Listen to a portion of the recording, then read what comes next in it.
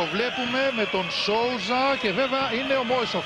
Με τα δύο πόδια, Αντρέα Βιολάρη έχει κάνει λάθος ο διετής και έχει συμβουλευτεί τον τέταρτο.